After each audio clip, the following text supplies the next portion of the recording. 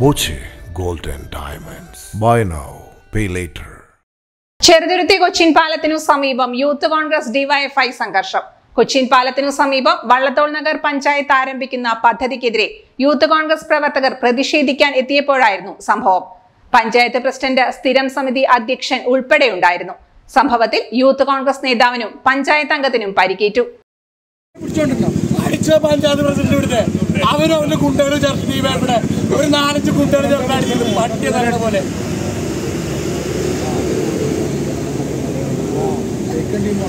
അല്ലെങ്കിൽ ഞങ്ങളോട് പറഞ്ഞത് ഇവിടെ പരിപാടി നടത്താൻ പറ്റില്ല പഞ്ചായത്തിന് അനുവദിക്കാതെ. ഞങ്ങളോട് പറഞ്ഞത് ഞങ്ങൾ എടുത്തോട്ട് പോകും. ഞങ്ങളെ പട്ടിയ തലയുടെ പോലെ തന്നെ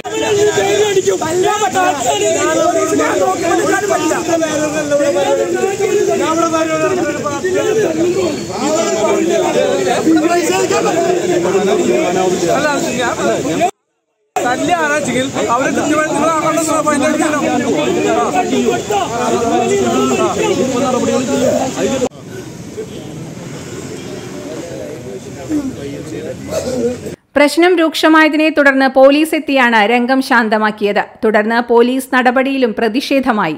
പോലീസ് സ്റ്റേഷൻ ഉപരോധം ഉൾപ്പെടെയുള്ള സംഭവമുണ്ടായി. അനിൽ അക്കരെ ഉൾപ്പെടെയുള്ളവരെത്തിയാണ് പ്രതിഷേധിക്കുന്നത്.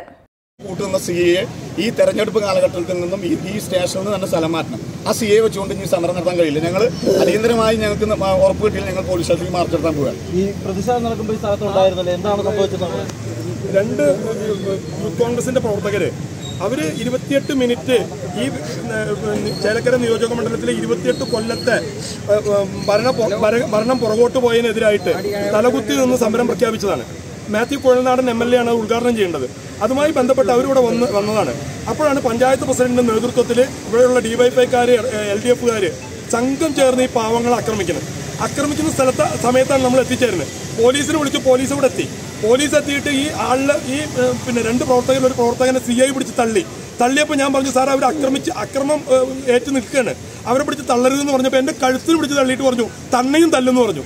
അങ്ങനെ വലിയ രീതിയിലുള്ള ആ അക്രമികൾക്ക് കൂട്ടുവെക്കുന്ന രീതിയിലാണ് പോലീസ് പെരുമാറിയത്.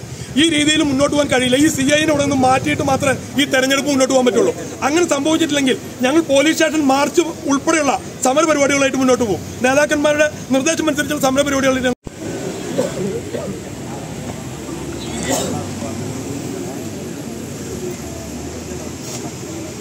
ആരോഗ്യത്തോടെ ഇരിക്കാം. മികച്ച പരിചരണം ഞങ്ങളുടെ ഉറപ്പ്. Shoranur medical trust Shoranur. Dot view news കാഴ്ചകളാണ് ലോകം. കണ്ടു തുടങ്ങുക.